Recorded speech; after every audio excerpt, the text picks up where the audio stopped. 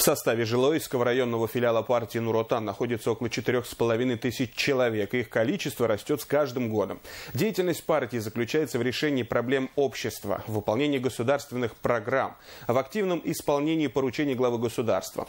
Партия была проведена 27-я отчетно-выборная конференция, в которой участвовали члены политсовета партии, ветераны, депутаты Маслихата, представители местных исполнительных органов, представители первичных партийных организаций и молодежь. В ходе конференции были определены главные задачи, озвученные в послании главы государства.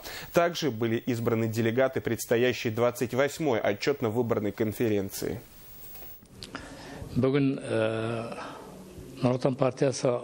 Сегодня мы приняли участие в отчетной конференции районного филиала партии «Нуротан» и получили огромное впечатление. Филиал партии «Нуротан» инициировал проведение многочисленных работ в районе, выполнение правительственных программ и реализацию многих проектов. В последние годы мы стали свидетелями того, как партия осуществляет контроль за ведением строительных работ в районе. Хочу отметить, что количество членов партии с каждым годом растет.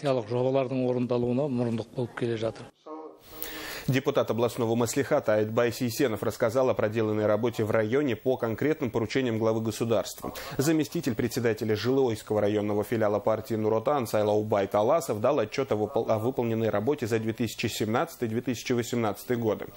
Также был заслушан доклад о работе молодежного крыла Жас Отан. В рамках послания главы государства создана агитационная группа. С жителями города проведено несколько встреч. Также проводится разъяснительная работа в сельских округах. Население поддерживает послание. В районе работает 15 первичных партийных организаций. Основная работа партии начинается с этих первичных партийных организаций. В них открыты кабинеты, оснащенные современным оборудованием. Работа в них процветает с каждым днем.